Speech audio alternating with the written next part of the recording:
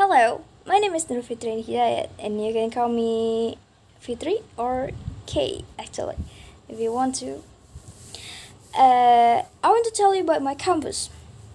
Uh, okay, we started from the senior high school. I was studied at 91 Senior High School, and now I'm studying at Jakarta State University with my major, Education of Dance. Um, mostly on the weekdays, I and the others have a hectic schedule.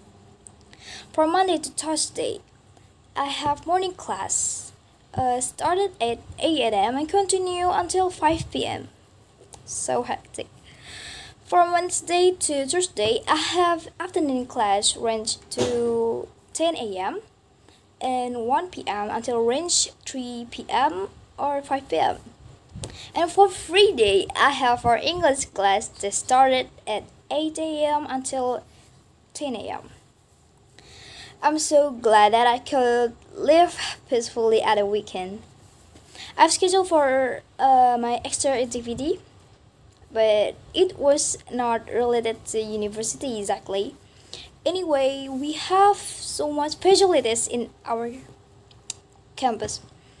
Um, we have good studios, wonderful musical instrument, uh, and another things that relate to education of dance.